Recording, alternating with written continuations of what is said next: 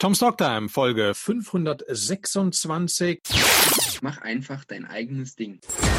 TomStalktime.com, der Erfolgspodcast.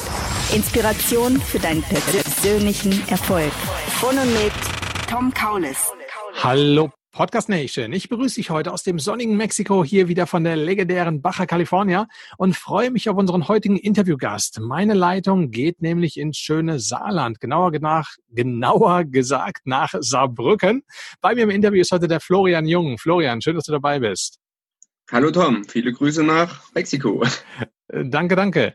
Florian, du hast eine ziemlich coole Unternehmerstory, wobei Unternehmer, man müsste dich eigentlich äh, schon Serienunternehmer nennen oder Serial Entrepreneur, wie man das so schön auf Neudeutsch sagt, denn du gründest so mehr oder weniger ein Unternehmen nach dem anderen, hast auch jetzt einen ziemlich coolen Exit hingelegt, aber alles der Reihe nach. Du hast dein erstes Unternehmen 2007 gegründet. Das war eine, sagen wir mal, Eventplanungsagentur.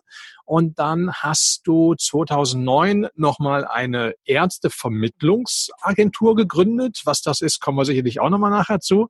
Und seit 2015 machst du noch ein Flammkuchen-Catering und hast 2017 auch noch einen ganz netten Exit mit deinem ersten Unternehmen hingelegt. Ähm, das heißt, Langeweile hast du vermutlich nicht, sondern dein Hobby ist Firmengründen, oder? Ja, genau, so sieht's aus. Also Firmengründen, das ist das, was mich bewegt. Okay, cool. Das war natürlich nur jetzt mal ein kleiner Überblick über dich. Äh, war, aber der war soweit richtig, oder? Hat gepasst, oder? Ja, das, das passt so, genau, ja. Okay, cool. Aber erzähl doch trotzdem mal ein bisschen mehr über dich. Vielleicht erst kurz was als äh, Privatperson, damit wir dich ein bisschen besser kennenlernen. Wer ist der Florian privat? Und dann auch wirklich nochmal kurz was über deine Unternehmen. Was hast du da genau gegründet? Äh, einfach vielleicht noch ein paar Sätze zu den einzelnen Dingen. Ja, also ich bin Florian, bin 31 Jahre alt, ich komme aus Saarbrücken, da bin ich auch geboren, das ist im wunderschönen Saarland. Ähm, ansonsten beruflich äh, habe ich BWL studiert und habe dann eigentlich schon während der Wehrdienstzeit äh, begonnen, äh, Unternehmen zu gründen.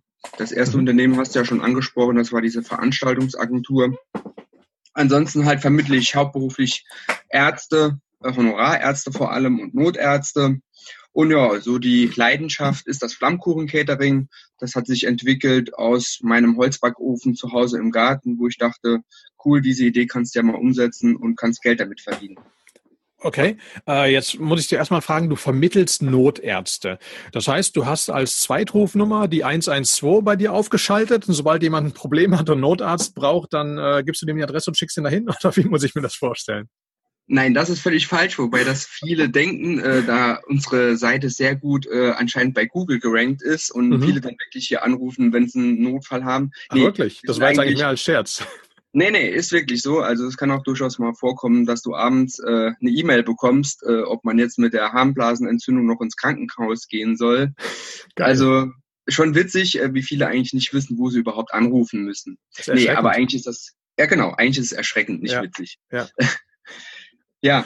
Okay, das, ähm, nee, das, heißt, was machst du da konkret? Also was heißt das jetzt dann, äh, Ärzte oder Notärzte vermitteln? Genau, also wir decken im Grunde so den Nachfragebedarf von Ärzten und Notärzten. Kunden sind hier vor allem die Krankenhäuser, aber auch Rettungswachen, Veranstaltungsagenturen, überall dort, wo halt ein Notarzt oder ein Arzt gebraucht wird, dort vermitteln wir jemanden hin. Okay, also das, das heißt, ihr, also wer sind eure Kunden jetzt? Also wer, wer nimmt eure Dienste in Anspruch? Zum einen natürlich die Ärzte, die vermittelt werden wollen, das ist klar, aber genau, wer steht auf der anderen Seite? Auftraggeber sind halt die Krankenhäuser, die, mhm. die, die den Notarztstandort betreiben oder halt die einfach beispielsweise eine Intensivstation betreiben mhm. oder ein OP äh, nicht lahmlegen wollen und brauchen dann Anästhesisten für die Operation, für die Narkose. Aha. Und da schicken wir dann Ärzte hin. Okay, jetzt mal ganz blöd gefragt, haben die keine eigenen Ärzte? Äh, doch, die haben Ärzte, aber äh, ja, in Deutschland herrscht ja leider ein Ärztemangel, das ist ja weitaus bekannt. Okay. Und äh, wir decken im Grunde ja diese Nachfrage, indem wir aus, äh, ich sag mal, Not, äh, aus arztstarken Gebieten einfach Leute abziehen, äh, die halt mehr Gehalt bekommen mhm. oder mehr Lohn für diese Arbeit. Und die ziehen wir dann halt in, ja, in arztschwache Gegenden. Okay. Also kann man das so ein bisschen als, äh, als, ich sag mal, auch klassische Personalvermittlung äh, benennen oder wäre das jetzt äh, nicht, nicht treffend? Ja, ich würde es nicht klassische Personalvermittlung nennen, weil äh, meiner Meinung nach ist diese, ich sag mal, Ressource Arzt ist ja was ganz Besonderes. Also sie Das haben stimmt, lange studiert, äh, haben eine wirklich sehr fundierte Ausbildung, müssen sich ja dann auch später noch äh, weiterbilden als Facharzt. Mhm. Ähm, ich würde nicht sagen, dass es das einfach so eine Personalvermittlung ist. Es ist schon was Besonderes, es ist irgendwo eine Nische, wo Mhm. man auch das System so ein bisschen verstehen muss. Mhm. Ähm, sicher ist in Deutschland das Gesundheitssystem auch ein bisschen dafür verantwortlich, dass viele Ärzte sagen, äh, hier bleibe ich nicht, sondern ich gehe in ein anderes Land, wo ich einfach viel äh, einfacher Geld verdienen kann, wo ich Mhm. aber auch für dieses Geld viel weniger arbeiten muss. Mhm. ich glaube, das ist einfach eines der Probleme, ne, das wir hier Ja. haben. Äh, ja, das stimmt. Also ich kenne es noch, ich bin ja, äh, oder ich habe viele Jahre als Rettungssanitäter ehrenamtlich gearbeitet und halt auch so an meiner Zeit im Krankenhaus, wo ich Praktikum gemacht hatte damals, wenn ich mich da mit den Ärzten unterhalten habe, auch was die da verdienen oder so, da habe ich teilweise wirklich äh, große Augen gemacht und habe weil weil das so erschreckend wenig war, wo ich mir gedacht habe, wie, du studierst hier tausend Jahre und dann machst noch deinen Facharzt und dann wirst du hier mit so ein paar Euro abgeschweißt. Ähm, Ja, ich schon glaube, das ist erschreckend. halt, das ist mit das Problem und vor allem, dass die halt äh, ja Dienste machen müssen am laufenden Band. Ne? Genau. Da kommt halt die dünne Personaldecke noch hinzu. Das macht halt vielen keinen Spaß mehr. Und so sagen die halt, äh, bevor ich hier halt arbeite, gehe ich woanders hin, was den Ärztemangel natürlich dann verstärkt in Deutschland. Natürlich, klar. Und was halt auch noch, zumindest damals äh, dazu kam, das war, warte, ich habe glaube ich 2006, 7 sowas die Ecke hatte ich das Praktikum gemacht. Ähm, was da auch noch dazu kam, war halt von der Arbeitsbelastung einfach dieses Thema Verantwortung. Wenn die halt gnadenlos überlastet und dann auch übermüdet sind, ich meine, da geht es ja nicht drum, wenn sie irgendwo eine Schraube vergessen, dass dann ein mechanisches Teil nicht funktioniert, sondern wenn die die halt mal falsch schneiden oder ein Medikament falsch geben, da kann halt einer auch mal ganz schnell äh, nicht mehr vom OP-Tisch aufstehen.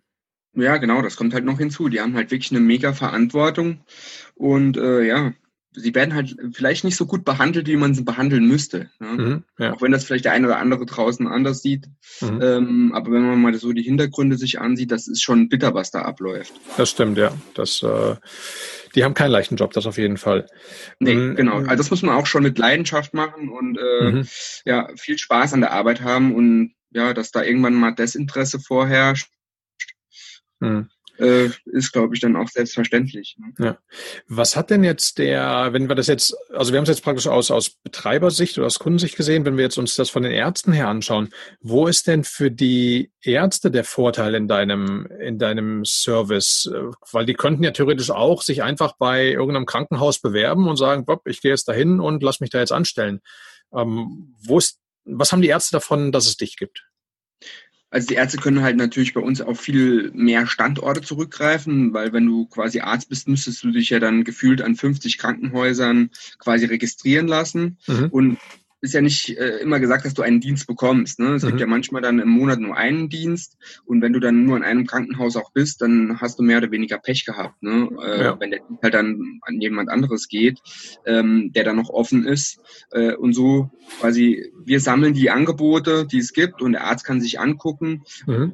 Die Angebote sind natürlich auch, die, die Bezahlungen sind ganz unterschiedlich. Ne? Also kannst du das halt raussuchen. Vielleicht sagt der Arzt, okay, ich gehe jetzt eine Woche quasi in die Eifel, verbinde das noch ein bisschen mit äh, Urlaub. Das ist vielleicht für den viel angenehmer, wenn er jetzt mitten in Frankfurt einen Dienst macht. Okay. Ähm, von der Bezahlung, was du gerade gesagt hast, unterschiedlich. Richtet sich das dann praktisch nach den Jobs? Also ob die jetzt, ich sage jetzt mal, als Notarzt arbeiten oder irgendwo in einer, keine Ahnung, in einem Krankenhaus oder sonst was äh, normal reingehen? Ja, das auf jeden Fall. Also auf jeden Fall nach Qualifikation und nach Tätigkeit. Als der Notarzt wird natürlich ein bisschen äh, weniger gezahlt, bezahlt wie, wie ein Facharzt, der jetzt operieren muss oder wie ein Narkosearzt. Ähm, und es ist natürlich auch von den äh, geografischen Gegebenheiten gibt es äh, ziemlich große Differenzen. Mhm. Okay. Aber die Nachfrage ist da. Also das ist ein Business, wo du sagst, jupp, du hast keine Langeweile und du bist ganz gut ausgelastet, oder? Nee, das, äh, ich habe definitiv die Nachfragen, also das, ja, diese Nachfrage besteht auch. Äh, Mhm. Kleines Problem ist halt, dass mittlerweile die, die deutsche Rentenversicherung die Honorarärzte so ein bisschen als scheinselbstständig betrachtet. Mhm. Wie das sich weiterentwickelt, werden wir mal sehen, aber das, der eine oder andere Kunde wird da sicher noch abspringen bei mir. Das ist halt leider Das- schade. Das ist krass. Die, also die in der Politik in Deutschland, die versuchen, glaube ich, also zumindest habe ich das Gefühl, mit allen Mitteln die Selbstständigkeit, das Unternehmertum irgendwie gegen die Wand zu fahren. Ne? Also je mehr Hürden die in den Weg werfen können, desto besser. Ja, das, äh, diese Vermutung äh, habe ich eigentlich auch, ja. weil ich weiß Traurig. halt nicht, was an so einem Arzt scheinselbstständig sein soll, weil ich meine, der hat allein die Verantwortung. Ja, ähm, ja ich meine, versichern und so weiter muss er sich ja auch. Eben. Aber ja, wie ja, gesagt, vor allen Dingen, und vor allen Dingen, wenn er halt wirklich in unterschiedlichen Krankenhäusern arbeitet, also was ich heute in Hamburg, morgen in München und so weiter, also wirklich wechselnde Auftraggeber hat, also das sehe ich auch eigentlich, aber okay. Ja, vor allem diese Entscheidung führt natürlich nicht dazu, dass, äh, sag mal, das Arztangebot größer wird. Ne? Also es Nö. versteckt natürlich eher nochmal den Ärztemangel. Das ist ja dann das Problem. Ja. Ja, klar, ich meine, das ist auch generell ja im Gesundheitsbereich, auch bei irgendwelchen Pflegern, Krankenschwestern.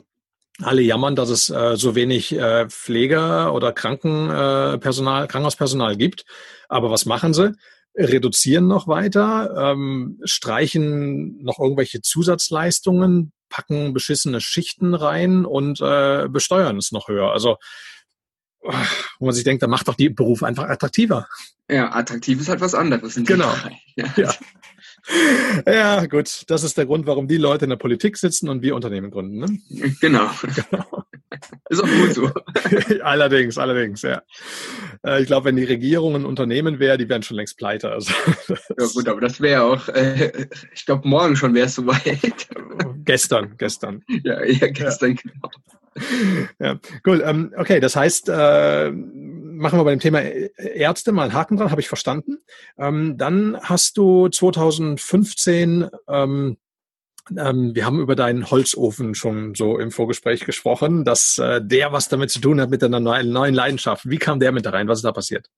Genau, also ich hatte in meinem Garten hatte ich einen Holzbackofen mit einer Backfläche und da drin habe ich Flammkuchen gebacken. Flammkuchen, mhm. das ist ja so quasi französische, äh, ja, französische, äh, französischer Genuss. Mhm. Und äh, da kam mir die Idee, na, das könntest du eigentlich ja auch als Geschäftsidee umsetzen weil ja, macht Spaß und es ist noch super lecker. Mhm. Ja, und so habe ich dann halt ein Flammkuchen-Catering gegründet. Äh, ist halt auch mehr oder weniger eine Nische, die ich da besetze, weil macht fast eigentlich keiner oder eigentlich mhm. keiner. Und so hat sich das Ganze entwickelt. Dann habe ich mir einen Ofen gekauft, ich habe jetzt einen zweiten, dritten. Ja, das entwickelt sich immer weiter. Mhm. Und bei dem Flammkuchenbank kann ich halt extrem abschalten. Das macht mir halt unwahrscheinlich viel Spaß. Mhm. Ähm, machst du das in dem Fall noch selber? Also backst du die selber? Ja, also ich habe zwar noch ein Team, aber ich bin auch selbst draußen unterwegs. Wie gesagt, ich kann bei dem Backen kann ich mich total entspannen. Fällt es einfach dem Flammkuchen zu, äh, zuzuschauen, wie er da ja vor sich hin backt mhm. und äh, mir auch immer einen Plan machen, weil wenn zehn gleichzeitig drin sind im Ofen, dann musst du halt äh, ja ein bisschen Überblick behalten. Und das ist einfach die Herausforderung da dran. Das glaube ich. Jetzt äh, frage ich mal ganz dumm, kann ich einen Flammkuchen auch als Pfannkuchen bezeichnen? Oder springst du mir jetzt gleich durchs Mikrofon und drückst ja, mir die Kehle zu? Wenn du nicht so weit weg wärst. Die Frage ist natürlich berechtigt, wenn, wenn du Flammkuchen nicht kennst. Ähm, nee, der Flammkuchen ist super dünn. Also es ist wirklich eine ganz hauchdünne äh, Teigschicht die mhm. gebacken wird. Und das ist auch das Problem beim Backen. Die bleiben drei Minuten bei 400 Grad im Backofen auf Schamottstein und das geht wirklich äh, rucki zucki und da musst du wirklich einen Überblick behalten. Also es ist dann auch echt Knochenarbeit, mhm. wenn du, äh, ja, ich sag mal, 200, 300 Gäste da äh, verköstigen musst. Wow, okay. Also ist das eine, eine Pizza mit dünnem Boden? Ganz einfach gesagt, ja, aber ich würde es so nicht äh, betiteln als Pizza. Nee, es ist ein Flammkuchen, ja. Kommt auch aus Frankreich und nicht aus Italien. Okay, na gut, dann, dann ist das natürlich was völlig anderes. Das ist klar. Nein, aber jetzt mal ernsthaft, für jemanden, der noch nie einen Flammkuchen äh, gesehen oder gegessen hat, ähm, kann man das damit so ein bisschen vergleichen mit einer, mit einer Pizza? Oder ist der vom Belag, oder ist der vom Belag eher süß? Ist der eher herzhaft oder beides? Oder? Das äh, Coole eigentlich an dem Flammkuchen als Produkt ist, dass du auf Flammkuchen ähm, dir einfach, wie gesagt, nimmst du den Flammkuchenboden, der extrem dünn ist, da kommt eine mhm. Schicht, theoretisch, ja, machst einen Schmand oder einen Creme fraiche drauf, kannst du noch ein bisschen würzen und dann mhm. kannst du da alles nach Belieben drauf machen. Traditionell mhm. kommt dann natürlich Schinken, äh, eventuell Käse und Zwiebeln drauf. Das Mhm. ist so der klassisch elsässische Flammkuchen. Aber ansonsten kannst du auch auf dem Flammkuchenboden jetzt, wenn du nicht unbedingt Flammkuchen möchtest, dir Tomatensoße drauf machen, äh, paar Pilze, äh, Salami und dann Mhm. hast du deine Pizza und wenn du das Ganze noch mit Käse gratinierst. Ja. Also kann man durchaus auch machen. Wie, das ist halt Hört das sich lecker an. Mhm. Ja, auf jeden Fall ist es auch. Mhm. Und äh, du wirst halt von so einem Stück Pizza bist ja meistens direkt äh, schon satt. Das passiert ja halt beim Flammkuchen nicht, weil der recht dünn ist und dann kannst du verschiedene Sorten durchprobieren. Das ist halt auch Mhm. mit das Interessante. Das stimmt, ja. Ähm, Und Flammkuchen essen ist halt immer auch so eine gesellschaftliche äh, tolle Sache. Ja. Du stellst den Flammkuchen quasi in die Mitte und jeder kann sich dann bedienen und du isst gemeinsam. Also wirklich ein tolles Event für jeden, der da dabei ist. Das ist richtig. Also ich weiß auch ich hatte, glaube ich, mein erstes Flammkuchenessen, das war, glaube ich, auch noch zu meiner aktiven Dienstzeit, auch in so einem gesellschaftlichen Rahmen. Und da hatten wir auch, Gott, ich weiß gar nicht, wie viel äh, ähm, äh, Tablette in der Mitte halt stehen gehabt mit, was weiß ich, von, von süß bis super, äh, ähm, super herzhaft. Und das war genauso, wie du gesagt hast, überall ein Stückchen und man konnte echt viel essen, äh, viel ausprobieren und man hat nicht das Gefühl gehabt, wie bei einer Pizza, dass man dann nachher tot in der Ecke liegt und denkt, euch platzt gleich.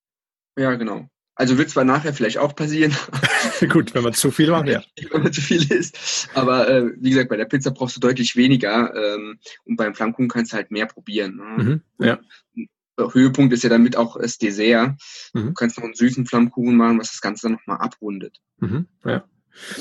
Cool. Und jetzt hatten wir, eingangs habe ich ja gesagt, dass du schon einen ganz netten Exit hingelegt hast. Und das war dann jetzt äh, recht frisch in 2017. Und zwar war das deine erste Firma, die du gegründet hast, 2007. Vielleicht kannst du da nochmal ganz kurz was zu sagen. Um was ging es bei der Firma und wie kam es dazu, dass du die gegründet hast? Ja, also ursprünglich habe ich irgendwann mal die Abi-Partys organisiert und die waren so erfolgreich, dass ich da auch gedacht habe, m, müsstest du eigentlich nach Abitur und Wehrdienst äh, das Ganze umsetzen und damit Geld verdienen. Mhm. So kam es dann halt dazu, dass ich ja eine Veranstaltungsagentur gegründet habe, die sich dann irgendwann aber spezialisiert hat auf Event- und Dienstleistungspersonal. Also wir waren mit einer der größten Agenturen, äh, die halt äh, Eventpersonal angeboten hat äh, im Saarland oder beziehungsweise im Raum Saarlor- Saarlor-Lux. Mhm. Ähm, ja, und haben eigentlich für jedes große Event auch Personal gestellt. Man muss da vielleicht Und- zu sagen, zu den Abi-Partys, die hatten zwischen 2.000 und 3.000 Besucher, ne? Also das Ja, also war, war, nicht schon, eine Schulklasse, die da war, sondern schon. es war schon, also da ging auch wirklich äh, richtig Geld über die Theke, Mhm. dass ich diese Verantwortung überhaupt damals getragen habe, ohne ja, mir groß Gedanken zu machen, Mhm. Was ich da eigentlich bestelle. Also wenn du mal äh, Bier palettenweise bei der Brauerei bestellst, dann ist das schon ein besonderer Moment, ja. Ja. Also schon ein spannendes Thema, wie gesagt, und daraus hat sich dann diese Veranstaltungsagentur entwickelt und wir waren äh, jetzt zehn Jahre wirklich sehr erfolgreich. Ähm, wie gesagt, jedes große Event, wo wir ähm, Personal gestellt haben. Und ja, irgendwann, ja, wurde es mir vielleicht ein bisschen langweilig. Ich wollte was Neues machen. Mhm. Das Flammkuchen-Catering lief ja dann auch an. Und so hat mein Geschäftspartner hat dann mir quasi meinen Anteil abgekauft und ich habe einen Exit hingelegt. Ja, das Geld konnte ich natürlich dann nochmal investieren. Mhm. Ähm, kannst du darüber reden, was du für einen Profit gemacht hast mit der Firma unterm Strich? Ähm, ja, also vielleicht, ja, schwierig zu sagen. Ich habe damals relativ wenig eingesetzt, ähm, weil wir eigentlich kaum Kosten hatten. Mhm. Genaue Zahlen möchte ich leider nicht verraten, weil da haben wir vertraglich auch äh, Okay. Stillschweigen vereinbart. Ja. Ähm, aber es war okay. Also für das, was damals investiert wurde, habe ich schon einen deutlichen Gewinn rausgeholt. Ja. Okay, gut, ja. Nee, gut, kann ich verstehen. Das äh, ist ja, Ja. oft so, dass man dann irgendwelche vertraglichen Sachen noch drin hat. Genau. Und da wollen wir dich auch nicht in die Bredouille bringen. Um genau. Ja. Wäre schlecht. ja, das stimmt. Ähm, was war denn das für ein Gefühl, ähm, den Exit zu machen? Weil gerade so die erste Firma, das war ja deine erste Firma, das ist ja doch so ein bisschen wie so ein Baby, da hängt man ja irgendwie so ein bisschen dran. Fiel dir das leicht, das äh, da auszusteigen? Ja, also ich muss sagen, ich hatte eigentlich immer gesagt, diese Firma behalte ich bis an mein Lebensende. Ja, Das sagt jeder am Anfang. Ja, ja wie, du, wie du das aber äh, passend gesagt hast, es ist wie ein Baby, du siehst das wachsen ne, und es ist auch gewachsen. Ja, aber ich sag mal, dieses Baby wurde dann irgendwann volljährig, Mhm. war eigenständig auf zwei Füßen und ja, vielleicht konnte ich es einfach leicht gehen lassen. Das war Okay. mit dem Grund, um dann zu sagen, okay, ich verkaufe das Ganze.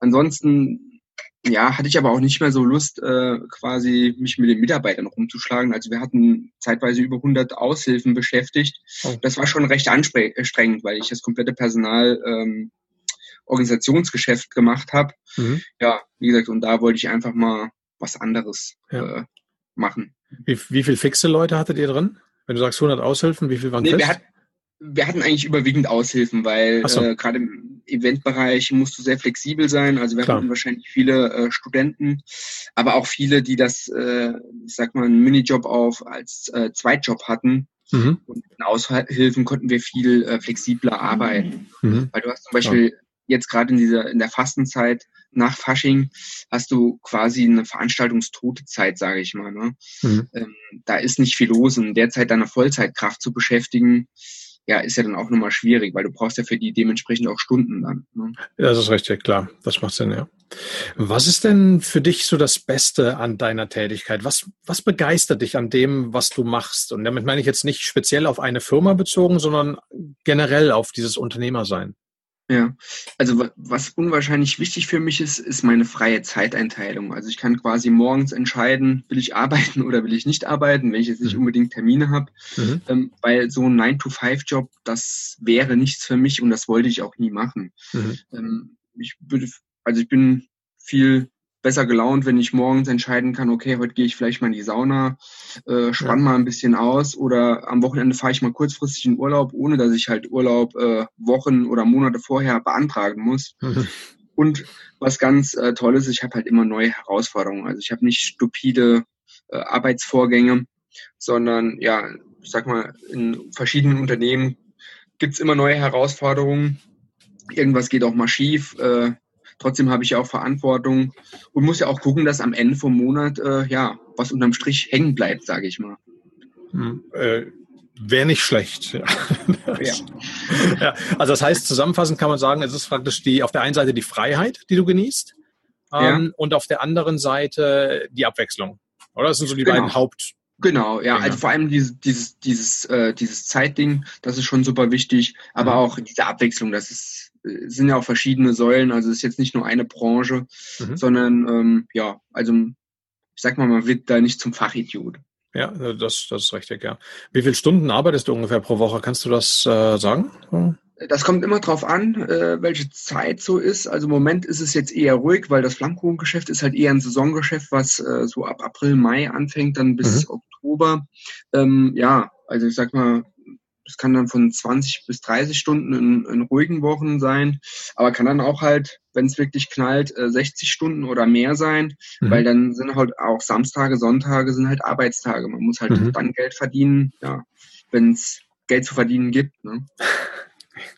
Das ist richtig, ja. Man äh, muss die Chance dann nehmen, wenn sie da ist und nicht sagen, genau. oh, nö, jetzt gerade ist schlecht. Wenn ich natürlich sage, ich mache das Wochenende frei, ähm, ja, das sind dann zwei, drei Tage, äh, sage ich mal, Lohnausfall, ja. Und das merke ich halt direkt, weil das Geld fliegt mir direkt zu. Ja, ja, ja. Ich hatte, das musste ich gerade so schmunzeln, meine allererste Firma, die ich damals mit einem Partner zusammen gegründet hatte, die ging auch so im Freizeitbereich, also auch so Canyoning, Klettern, Fallschirmspringen und sowas. Und mein Partner hat den Fallschirmbereich übernommen gehabt. Und ähm, da sind wir am Anfang richtig aneinander geraten, weil er dann gesagt hat, auf einmal zu wegen, nee, am Wochenende mag er lieber mit seinen Kumpels unterwegs sein und Party machen, am Wochenende will er nicht arbeiten. Und ich dachte, hallo? Wir sind im Freizeitbereich. Das richtige Geschäftsmodell gewesen. ja, genau. Und ich dachte, tickst du noch sauber? Ich meine, die Leute arbeiten unter der Woche. Man, ja, aber Wochenende sind doch keine normalen Bürozeiten. Ich so, ja, genau, richtig. genau deswegen. Deshalb gehen die Leute auch was äh, freizeitmäßig machen. Genau, und äh, ja, das war dann ähm, ein sehr kurzes Unternehmen, was oder eine ja, sehr kurze Kann ich mir vorstellen. Ja, genau. Aber da muss ich immer dran denken, um Gottes Willen. Also, naja, so Leute gibt's. Genau. Ja.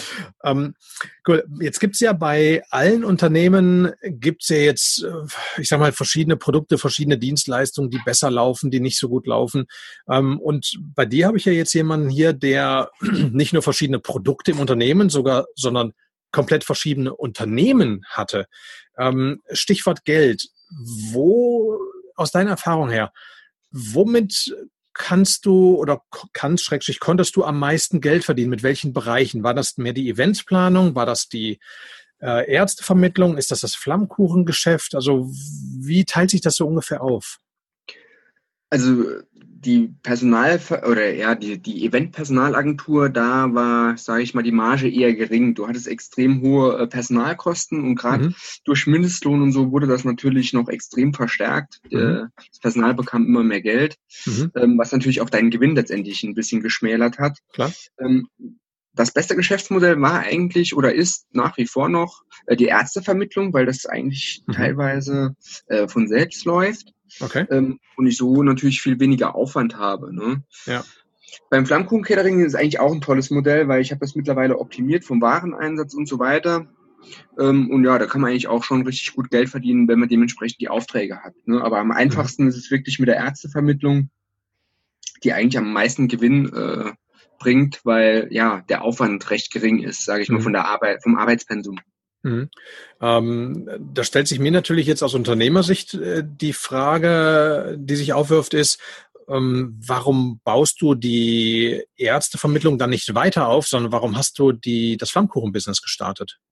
Ja, also das war ja abzusehen, dass da äh, rechts, äh, differente Rechtsprechungen gibt. Ah, okay. Und äh, nachdem halt das Sozialgericht dann letztes Jahr auch entschieden hat, okay, die sind scheinselbstständig, die Honorarärzte. Das gibt's da nicht. Ja, hat es mir quasi einen Strich durch die Rechnung gemacht. Ähm, und ich sag mal, wie gesagt, erste Kunden sind ja auch abgesprungen oder es ja. gibt auch Krankenhäuser, die halt Richtung Arbeitnehmerüberlassung gehen mhm. in dem Bereich. Das wird äh, nach wie vor ein Bereich sein, der auch ausgebaut wird. Mhm. Aber auf diese Arbeitnehmerüberlassung hatte ich persönlich wirklich gar keine Lust, ne? weil mhm. meine Auffassung ist halt, äh, ein Arzt ist ein Arzt und kein Zeitarbeiter. Ne? Ja. Widerstrebt mir so ein bisschen, dass ich gesagt habe, okay, dann konzentriere ich mich lieber aufs Flammkuchen-Catering, ist was im Offline-Bereich. Ähm, ich habe auch direkt mit äh, Menschen zu tun. Da muss ich auch gute äh, Leistung bringen und ein mhm. gutes Produkt verkaufen.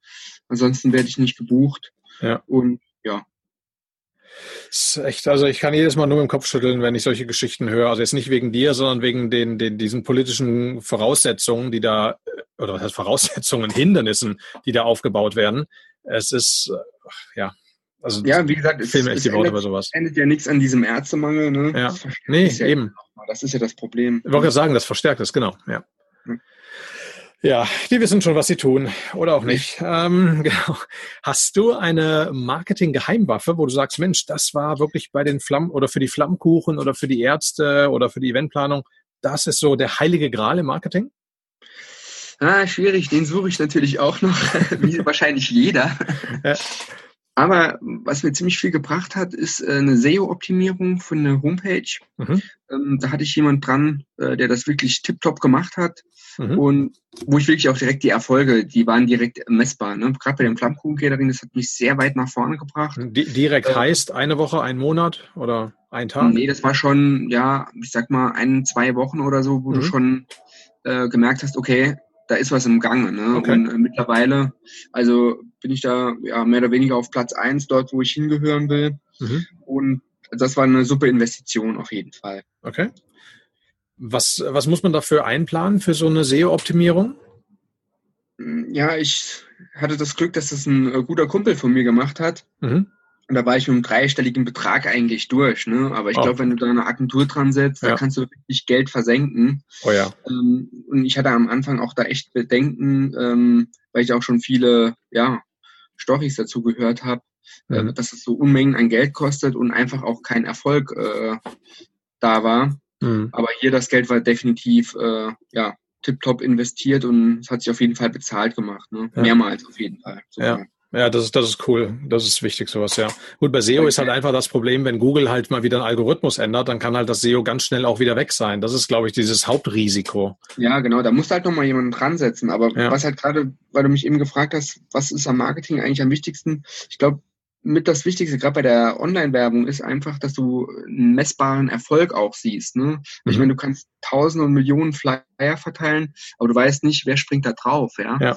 Und, ähm, aber gerade bei Online-Werbung ist sehr schnell äh, eine, eine Erfolgsquote da, ne? weil du mhm. auch sehr gezielt werben kannst.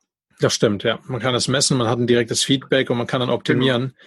Genau. Wenn man halt einfach sieht, dass die Hauptzielgruppe, die halt kauft, äh, zwischen 25 und 35 ist, aber die Hauptbesucher auf der Website eben alle unter 25 sind, dann weiß man, okay, da muss man ein bisschen was umstellen. Da muss man nochmal ran, ja.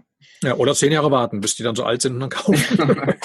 Gut, bis dahin äh, hat es wahrscheinlich mit dem Unternehmen dann auch erledigt.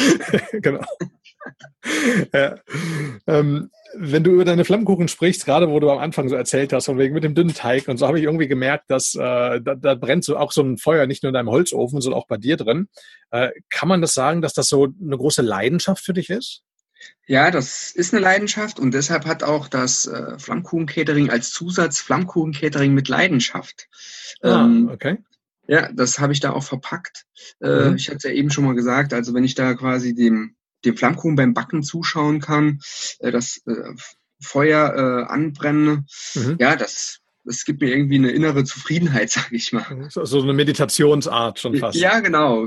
Entspannt mich einfach. Ja. ja. Okay, cool. Also ähm, wie, wie bist du denn darauf gekommen? Also ich meine, so die Leidenschaft zu finden, das ist ja das, was viele Menschen irgendwo wollen. Äh, viele oder einige finden sie total easy, die haben sie einfach. Und dann gibt es aber auch einige Menschen, die wirklich richtig verzweifelt danach suchen und sie einfach nicht finden. Wie ist es bei dir gewesen? Wie hast du die gefunden? Ja, das ist eine ganz schwierige Frage mit der Leidenschaft. Ich glaube einfach, das ist was, was sich entwickelt. Mhm. Ähm, ich kann nicht ad hoc sagen, okay, das war der Punkt. Vielleicht gibt es das bei dem einen oder anderen, aber bei mir war das eher so, sage ich mal, ein Prozess. Ähm, auch, glaube ich, durch, äh, ja, durch äußere Einflüsse, wie zum Beispiel eine Wehrdienstzeit, die mich sehr geprägt hat. Mhm. Ähm, Gibt es ja leider mittlerweile auch nicht mehr, mhm. äh, wo man viel lernen konnte. Mhm. Ähm, aber auch so Schulzeit, Studienzeit, das sind alles Zeiten, die ich irgendwie prägen und wo du letztendlich, wo sich irgendwas herausentwickelt. Vielleicht bei dem einen oder anderen, vielleicht nicht, aber mhm. eigentlich sollte es ja dazu sein, dass irgendwann mal ein Ziel vor Augen ist, das man dann auch verfolgt. Ja, das auf jeden Und dementsprechend Fall. halt auch mit Leidenschaft, ja, weil sonst brauchst du das Ziel ja eigentlich auch nicht zu verfolgen. Ne? Macht keinen Spaß. Genau, genau. Ich glaube, genau der letzte Satz, den du gesagt hast, sonst macht es keinen Spaß. Ich glaube, das ist so einer der Knackpunkte, wo man die, wo man einfach merkt, ist das eine Leiden oder kann das eine Leidenschaft sein? Das ist so die erste Frage. Macht es mir Spaß? Ja oder nein? Ich glaube, wenn man damit schon mal anfängt. Genau. Und ich glaube, man darf sich sowas auch nicht aufdrücken. Ne? Wie gesagt, das mhm. ist ein Prozess, meiner Meinung nach, ja. was sich einfach entwickeln muss. Und wenn du da bald irgendwas äh, ja, in den Kopf reinschlägst, bringt halt nichts. Ne? Ja, das sehe ich genauso. Was, was ich auch noch gerade spannend fand, du hast gesagt hier bei deiner Wehrdienstzeit, ähm, dass es die ja leider nicht mehr gibt und dass du da viel gelernt hast. Jetzt hört man ja doch gerade wirklich über die Wehrdienstzeit, zumindest die, die damals noch wirklich die Wehrpflicht miterlebt haben, ähm, hört man ja sehr oft von wegen oh, Gammeldienst und total öde alles. Und du sagst jetzt, du hast viel daraus gelernt. Was hast denn du gelernt? Ja, also das, mit das Spannendste war ja schon mal, dass du auf eine Stube kamst, äh, wo alle bunt gemischt waren. Also ich kam damals mhm. direkt von der Schule, habe mein Abitur gemacht. Ja, bei mir auf der Stube war noch jemand, der hatte Abitur, aber alle anderen, äh, der eine war äh, Schulabbrecher, mhm. dann einer hatte eine Kochausbildung, Mhm. Ähm, ein anderer war Kfz-Mechaniker. Es ist einfach dieses bunt gemischte, ja, wo mhm. du viel lernen kannst und wenn du nur in deinem, äh, ja, in deinem ähm, geschlossenen Kreis bist, sag mal, nur unter Leuten, die auch Abitur haben, ja. dann hast du auch einen engständigen Blick, ja? ja. Und da wurde der Blick einfach äh, geöffnet und du hattest verschiedene Leute, mit denen du dich auch arrangieren musstest, weil du hattest ein Problem, wenn du nachts um drei Uhr auf den Marsch musstest, musst ja. du dich auf die Leute ja auch verlassen können. Ja. Und das sind einfach Sachen, ja, wo man indirekt schon was gelernt hat. Ne? Klar, mhm. ich meine, es gab auch sicher Sachen, die waren jetzt nicht so toll, aber gut, das gibt's immer. muss ich sagen, war eine tolle Zeit ja. und war vor allem auch eigentlich entspannt, mhm. weil ähm, ich musste mir nicht viel Gedanken machen. Geführt wurden wir ja, ja. von Vorgesetzten ja. und Geld gab's trotzdem dafür. Ja, das stimmt. Cool. Nee, das, das ist schön zu hören. Das gefällt mir. Also ähm, und gerade das, was du gesagt hast, diese Mischung aus den unterschiedlichen Leuten, das war auch das, was mich damals unheimlich begeistert hat. Ähm, bin eher ein paar, paar Jahre länger dabei geblieben und genau das war für mich immer die größte Herausforderung. Genauso wie du es gesagt hast. Du hast deinen, was weiß ich, innerhalb in deinem Zug hast du deinen äh, studierten Diplom-Ingenieur, aber genauso deinen Hauptschulabbrecher. Äh, genau. und du hast alle Leute zusammen und du musst aus diesem bunten Haufen irgendwo ein Team machen und mit denen auch noch gemeinsam ein Ziel erreichen. Und sei es das Ziel nur der, was weiß ich, 30 Kilometer Marsch oder. genau, genau. und das fand ich immer, fand, also hat mich äh, sehr begeistert, ja. Fand ich cool. Klasse. Hm. Jetzt läuft ja in einem Unternehmerleben nicht immer alles rund? Ich meine, wir haben bis jetzt über Sachen gesprochen von wegen erstes Unternehmen gegründet, coolen Exit hingelegt, nächstes Unternehmen gegründet, läuft, gibt zwar ein paar politische Probleme, aber läuft trotzdem, dann das nächste Unternehmen gegründet, gleich auf Platz eins auf Google und läuft auch und macht Spaß. Gibt's denn auch mal oder ist denn auch mal irgendwas passiert, wo was nicht so gelaufen ist, wo du wolltest, wo du mal so einen richtig großen Fehler gemacht hast? Ja, ich glaube, so einen richtig großen Fehler habe ich eigentlich bisher nicht gemacht. Mhm. Äh, Was war denn der größte so, wo man sagt, äh, das war bisher mein größter Fehler und wie ist es dazu gekommen? Also mit der größte Fehler würde ich sagen, das war der, die Gründung bei der Ärztevermittlung, habe ich das Ganze als Unternehmergesellschaft gegründet. Okay. Ähm, zu dieser Gründungszeit war das auch eine ziemlich hippe Sache. Die UG war ziemlich neu mhm. ähm, und jeder sagte, kannst du ganz einfach gründen, quasi mit einem Euro mhm. und schon hast du quasi deine Mini GmbH. Mhm. War ja auch genau, das ist die kleine GmbH ist das, ne? Die genau, UG. genau. Mhm. Diese Unternehmergesellschaft haftungsbeschränkt. Mhm. Ja, das habe ich dann auch gemacht. Äh, erstes Problem war, mit einem Euro kannst du das gar nicht gründen, sondern brauchst mal mindestens fast 500 Euro, weil der Notar möchte ja ein paar Euro haben. Stimmt, sonst wäre er ja schon gleich insolvent, ne? Mit der Gründung. Ja, genau. Äh, der Notar möchte ein bisschen haben. Ähm, ja, das Amtsgericht natürlich auch, weil wird ja ins Handelsregister eingetragen. Also schon mal das erste Problem, mit einem Euro kommst du nicht weit. Das heißt, du bist unterm Strich auch bei roundabout 1000 Euro, oder? Ja, bist du auf jeden Fall. Also ich denke, mit 1000 Euro musst du auf jeden Fall rechnen. Aha. Wie gesagt, das kommt draußen, glaube ich, nicht so rüber. Ne? Mhm. Und was dann auch ein großer Nachteil ist, ähm, das Problem ist, dass du äh, als UG genauso steuerlich behandelt wirst wie die GmbH. Das heißt, hast du dicke Gewinne, wirst du auch dick besteuert. Ne? Mhm. Und äh, der, diese UG soll ja eigentlich irgendwann mal in eine GmbH umgewandelt werden. Mhm. So, das kannst du natürlich nur machen, wenn du dementsprechend dann auch deine Gewinne hast. Mhm. Ähm, nur, wenn ich dicke Gewinne mache, spare ich Steuern. Also was mache ich zwangsläufig, bevor ich Steuern äh, groß zahle? Ich, vers ich versuche natürlich, äh, meine Gewinne zu schmälern. Ja? ja.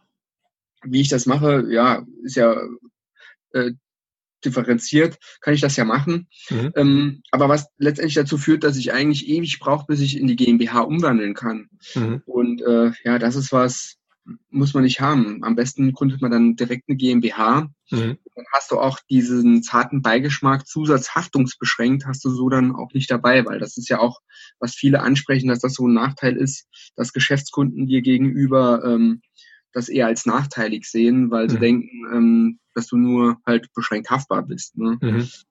Mit diesem Haftungsbeschränkt. Was ja theoretisch auch richtig ist im gewissen Rahmen. Also darum heißt das ja auch so. Ja, ja, genau. Aber ja. wie gesagt, ich meine, so äh, gründest du halt eine GmbH, dann bist du durch, ne? Ja. Und ähm, musst halt nicht unwahrscheinlich, ich meine, da musst du auch Steuern zahlen. Aber dann, äh, weil eigentlich Ziel dieser UG soll es ja mal sein, dass du eine GmbH umwandelst, ne?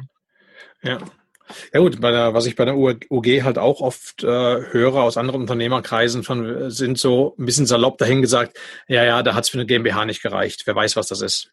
Genau, genau. Und äh, das vielleicht nochmal zu der Frage, warum das ein Fehler war. Wir haben das zu, äh, zu viert, zu fünft gegründet, also waren noch mehr Gesellschafter. Mhm. Ich meine, da wäre es echt easy gewesen, zu sagen, okay, komm, jeder zahlt ein bisschen mehr ein, macht eine GmbH und es sieht gleich ordentlich aus. Ne? Mhm, genau. ähm, aber wie du das sagst, also viele denken dann, ah, UG, okay, der hat keine Kohle. Ja. Was ist das eigentlich für ein Unternehmer? Genau. Ne? Ja. Aber wie gesagt, es ist schwierig, da nochmal rauszukommen, mhm. außer man macht halt extreme Gewinne. Ja, ja. Äh, klar, kann man machen, aber es halt mal auch dann extreme Steuern. Ja? ja, und einfach schließen und eine GmbH gründen, wäre das eine Option? Also Nö, aber ich könnte ja im Grunde, ich könnte jetzt im Grunde äh, das Geld einzahlen, kannst dann ein, also privat einzahlen als äh, Privatkredit, sage ich mal, mhm. und könntest dann umwandeln. Ne? Ach so, okay. Ja. Das wäre das wäre eine Möglichkeit, das überlege ich auch. Ja. Um das Hast, zu umgehen. Hm? Ja. Hast du irgendwo mal die Überlegung, auszuwandern oder sowas? Oder mal ja, ein paar Jahre im, im Ausland zu leben? Oder ist das eher nicht so?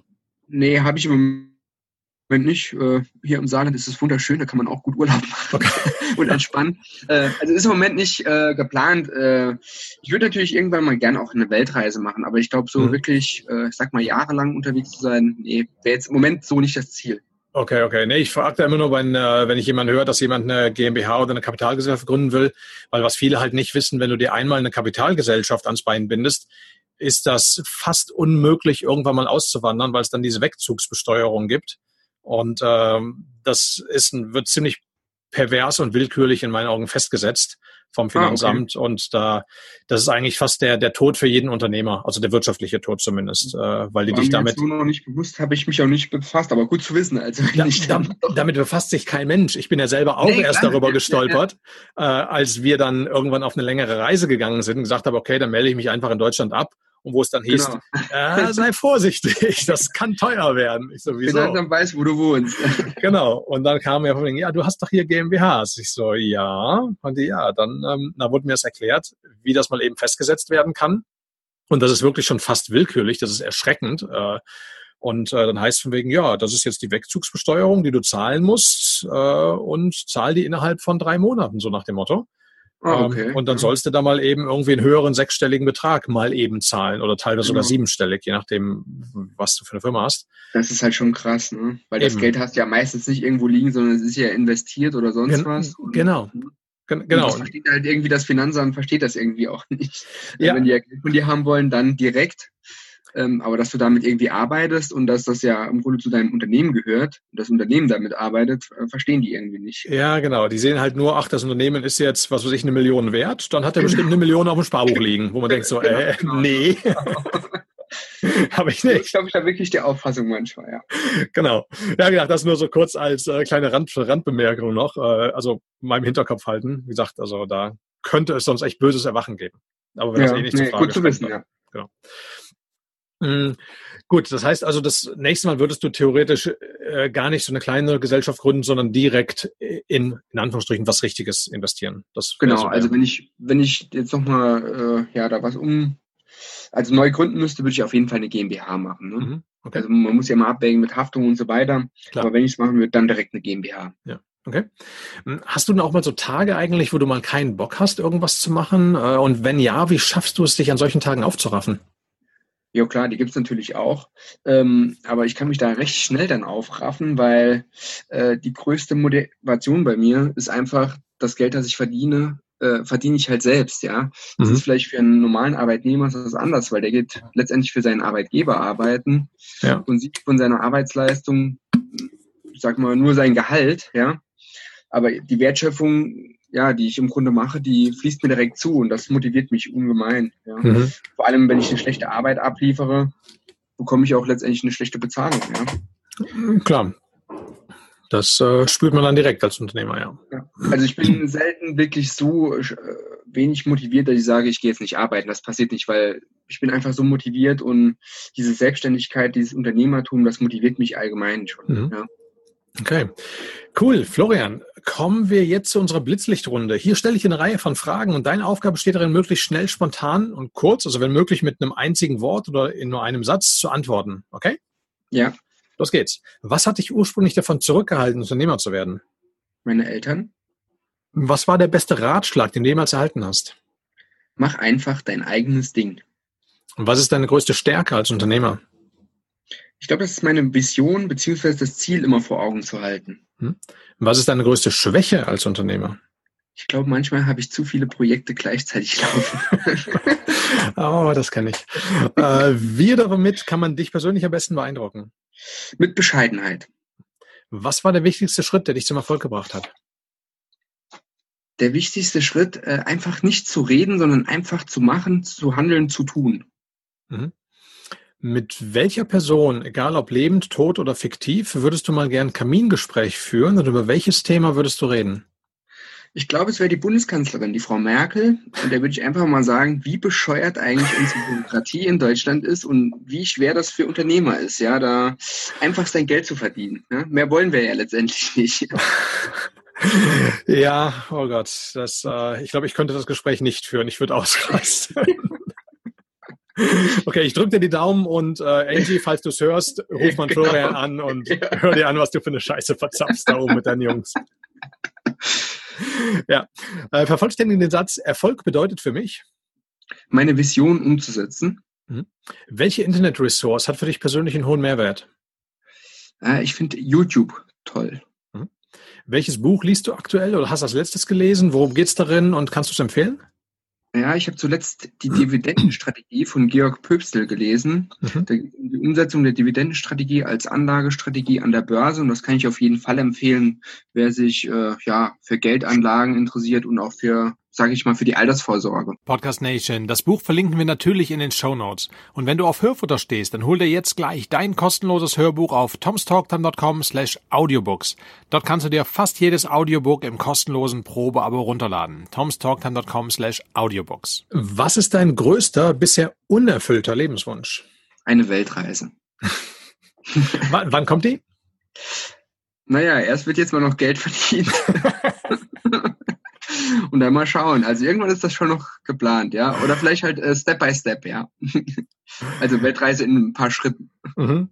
Ähm, da gibt's, wo du gesagt hast, von wegen irgendwann erst wird Geld verdient. Es gibt äh, ein Lied, also eines meiner Lieblingslieder von der Gruppe Wolfsheim. Das nennt sich Kein Weg zurück.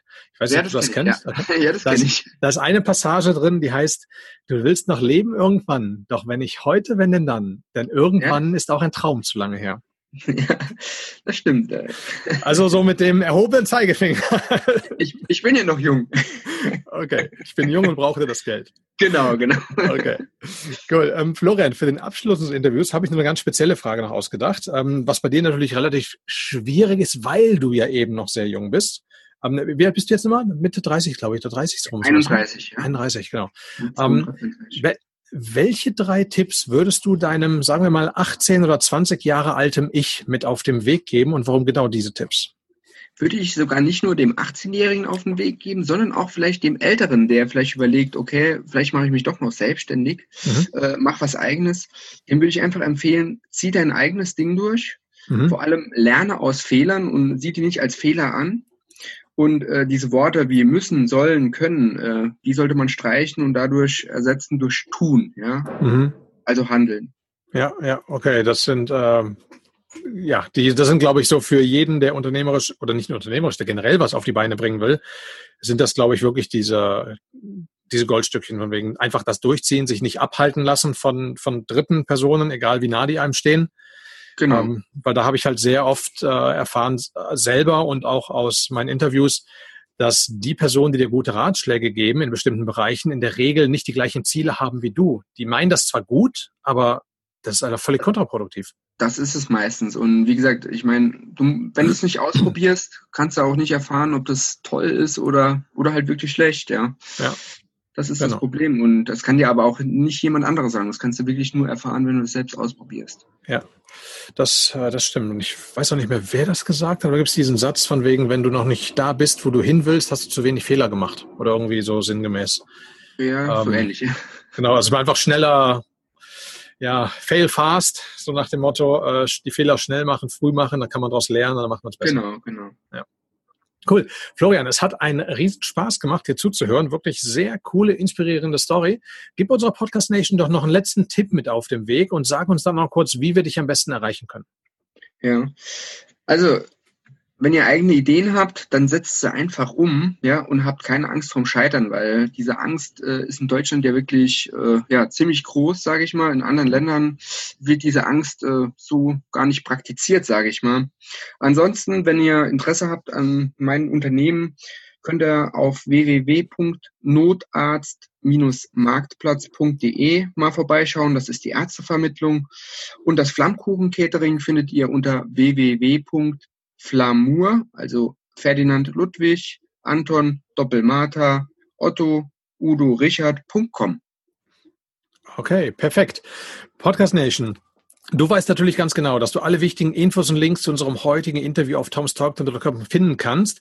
Gib einfach die Nummer 526 oder den Namen Florian Jung in das Suchfeld ein. Du kommst sofort hier auf die passende Seite und wir verlinken natürlich auch alles das, was äh, Florian gerade gesagt hat, seine Notarztseite. Das heißt, wenn du selber vielleicht Honorararzt bist und da äh, was machen willst, schau dir das mal an.